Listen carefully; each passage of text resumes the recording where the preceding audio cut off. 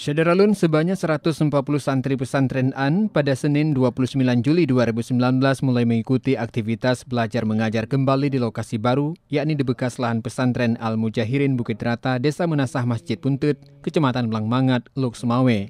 Sebelum memulai proses belajar, santri dan santriwati ini terlebih dahulu berkumpul di halaman pesantren untuk mengikuti apel. Mereka menggunakan seragam sekolah, baik seragam untuk tingkat SMA maupun SMP. Khusus untuk santri wanita mulai sekarang diwajibkan menggunakan cadar selama berada di dalam lingkungan pesantren. Untuk pendidikan umum, seluruh santri dibagi menjadi tujuh kelas, yaitu empat kelas untuk tingkat SMP dan tiga kelas untuk tingkat SMA. Khusus tingkat SMP, kelas 1 sebanyak satu ruang, kelas 2 sebanyak dua ruang, dan kelas 3 satu ruang.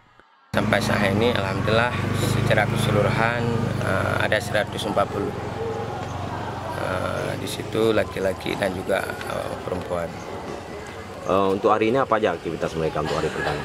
Yang pertama tadi sudah ada uh, apel yang di sana diisi dengan beberapa kegiatan, ada selawat, beberapa macam selawat, uh, ada uh, pengarahan dari Aki supaya mereka belajar disiplin dan juga mereka harus uh, melihat dan menjaga beberapa rambu-rambu yang tidak sesuai dengan ajaran syariat dalam pergaulan. Dari Lusmawe, Saiful Bahari, Serambi On TV.